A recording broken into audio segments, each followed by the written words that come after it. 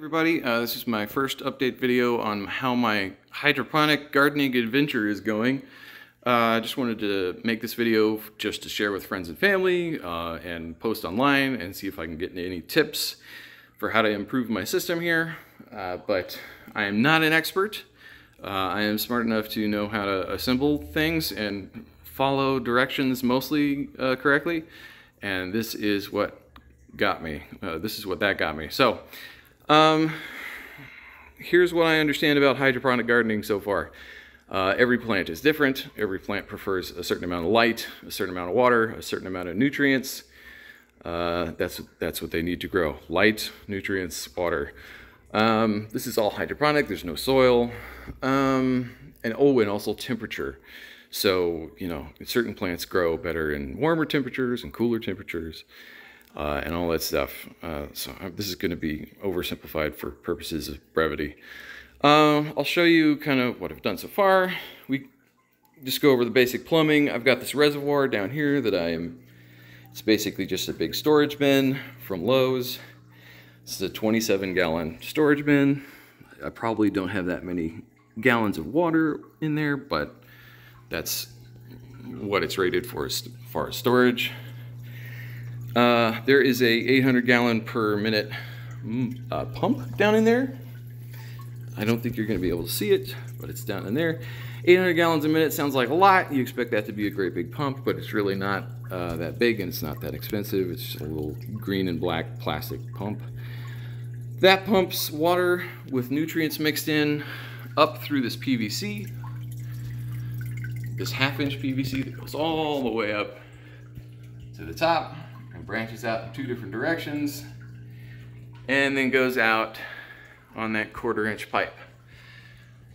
Uh, initially, I was trying to use uh, Dig brand irrigation pipe for this distribution system up top where you just use a little hole punch and you punch into this rubber flexible tubing uh, and then that branches out into the quarter inch smaller tubes but that was creating a slow leak at just a, every time I would try to do it, it would have a slow leak at, at one or two of the connections. And that's fine if you're doing an outdoor garden, but for an indoor garden, even having slow leaks is not really acceptable.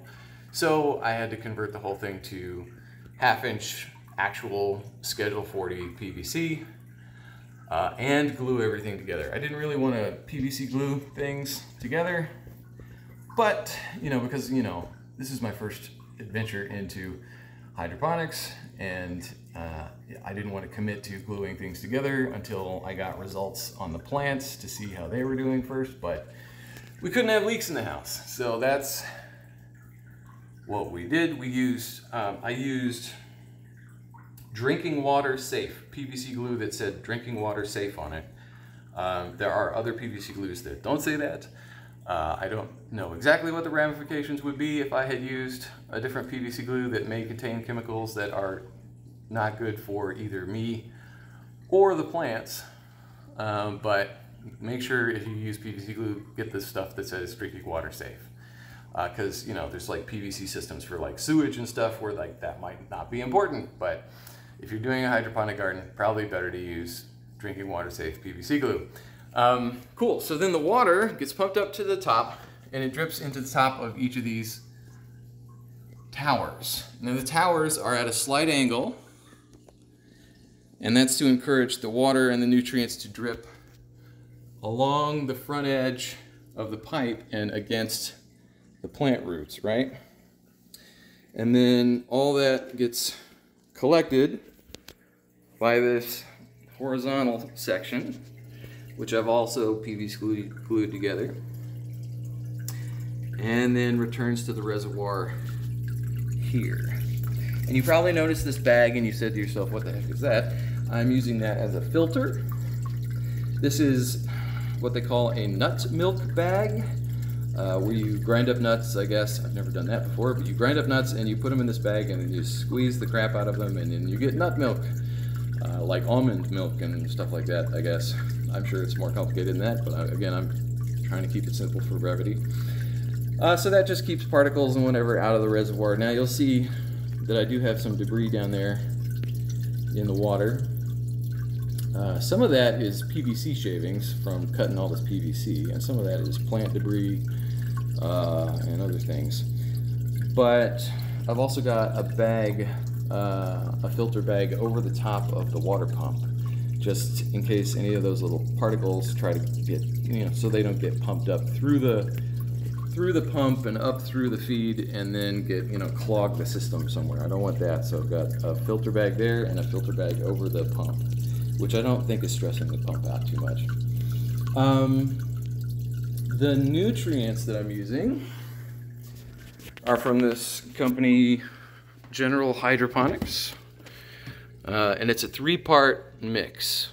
So a little bit of this, a little bit of this, a little bit of this. And that sounds complicated. Oh, we're doing alchemy. We're mixing things and creating potions. Uh, it's not really that complicated. It's basically one teaspoon of this or five milliliters. One teaspoon of this, one teaspoon of this, one teaspoon of this mixed into one gallon of water. And that bada bing, bada boom, that's your, that's your nutrient mix. That is for the general all-purpose uh, blend that they recommend.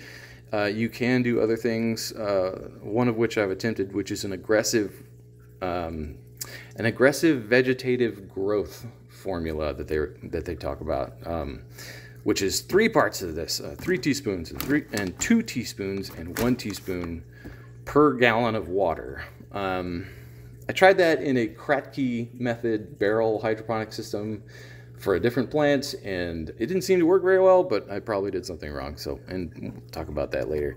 Um, also, you need to manage the pH of your water and nutrients in your reservoir. And so you've got chemicals to bring the pH up and the pH down. Um, typically, from my understanding, you will find that your pH of your uh, water and nutrients will go either up or down kind of depending on the hydroponic system and the plants that you've chosen and you'll really only need one of these. Um, but we'll see. Oh that pump just turned off. You hear all that water draining. Um tools. Uh, I have a light meter. I got this one off of Amazon.